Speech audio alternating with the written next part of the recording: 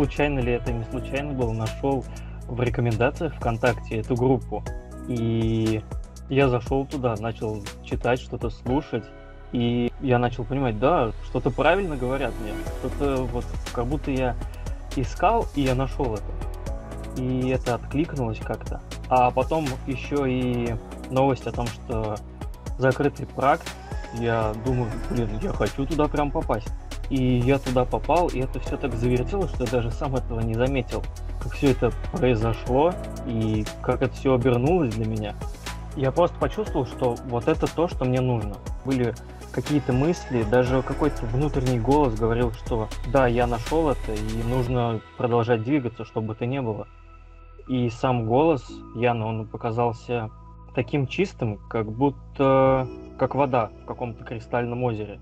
Открылась другая сторона медали, другая сторона какая-то жизни. Буквально перевернулось все. Я начал смотреть не с одной стороны, я больше стал узнавать себя. И по мере практа я узнавал, узнавал больше себя, я периодически говорил себе, вау, это действительно я, что ли? Это вот так на самом деле? Я иногда просыпался и говорил, что, блин, это вот так вот, как есть. И, и постоянно было удивление какое-то, удивление тому, что происходит вокруг. И сам прак открыл какую-то вот прям завесу, какая-то периодическая магия, вот этот вот баланс начал соблюдаться. Не просто, если раньше были какие-то прям, назову это карусель эмоциональная, а теперь это ты не только катаешься на ней, но ты и смотришь, как э, на ней я катаюсь сам. Со всеми этими открытиями очень интересно становится. Это насколько помогает, да, я понял, что я жить без этого не могу. То есть как я раньше вообще жил без этого. И это открывает какие-то новые границы. Ты слушаешь людей, ты слышишь людей, ты не просто слушаешь, но ты и слышишь их. Ты ощущаешь то, что они ощущают, когда тебе говорят. Ты многое видишь, и это так на самом деле даже приятно. Приятно возвращаться к тому, что ты когда-то давно забыл.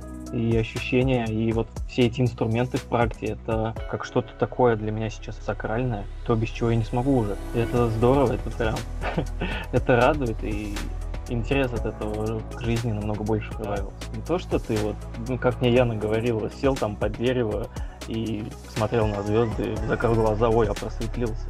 Нет, это не так, и это скорее какой-то процесс. То есть это все наращивается, наращивается, что-то узнаешь, и как раз-таки открываются вот эти вот просветы, они просто ты сел, бабах, там гром в тебя шарахнул, и ты, о, я все, я просветлился, все, встал и пошел. Я когда-то себе сказал, что да, мне страшно, но интерес у меня намного больше этого страха. Поэтому я готов идти. Да, я знаю, что будет больно, будет порой даже страшно, что будет тяжело, но мне очень интересно, и я очень хочу этого. Да, это что-то новое и что-то невероятно ценное. Я прям хочу прям есть желание идти дальше и глубже. Понятно, когда ты выполняешь это задание, когда уже результат есть, ты говоришь, а, нифига себе, это вот так вот на самом деле. Это вот, вот так вот все происходит, и задания сами, они построены таким образом, что они именно раскачивают тебя. И потом, когда ты их выполняешь, когда ты уже чувствуешь, ощущаешь этот результат, ты говоришь себе, да, вот это вот класс. Ты результат этот ощущаешь. Это здорово. Я получил то, что я не ожидал как раз. И это самое удивительное. Яна дает задания эти, она дает их от себя, она знает, как привести человека. За три, ну, за четыре месяца это невероятно, что за четыре месяца получается вот такое вот. Качели и карусель это эмоционально также осталась, но она тебя теперь не затягивает. То, что ты получаешь, это бесценно. Но пойди на эти курсы, если тебе это очень надо, если ты прям чувствуешь, если тебе это резонирует, иди и не жалей ничего. Яна — это лучик света в темном царстве. Она как мать, как родитель твой, и разговоры с ней, они очень наполняют. Яна — это что-то невероятное, что могло случиться в жизни. Это тот человек, про которого я буду рассказывать, наверное, своим внукам. Это очень ценный для меня человек, хотя я его даже ни разу в жизни не видел. Это очень добрый и светлый человек, и если бы стало больше таких людей, как Яна, то тогда бы все поменялось на Земле. Спасибо, что она есть.